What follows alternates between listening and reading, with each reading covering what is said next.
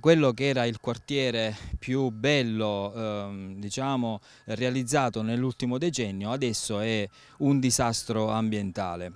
E qui si rischia veramente la piena emergenza eh, non solo eh, ecologica ma anche sanitaria.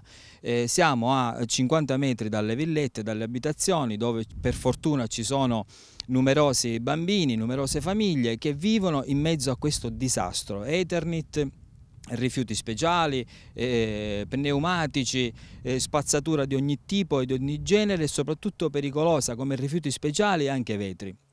Quindi qualcosa bisogna fare perché qui ci abitano le famiglie, eh, ci abitano dei ragazzini e soprattutto c'è qualche genio che poi alla fine come in, in, tutto il territorio danno fuoco a questa spazzatura e quindi tutte le sere si respira diossina. Vittoria veramente in piena emergenza eh, di spazzatura, qualsiasi angolo della strada e delle periferie c'è spazzatura dappertutto, quindi bisogna fare qualcosa, bisogna intervenire al più presto. È da giugno che chiedo che questo quartiere venga attenzionato, ma nulla è cambiato. Il prossimo passo sarà rivolgerci al prefetto, sarà rivolgerci ad autorità ancora eh, più in alto perché non è possibile che non si sia fatto un minimo di intervento che invece le passate amministrazioni hanno fatto.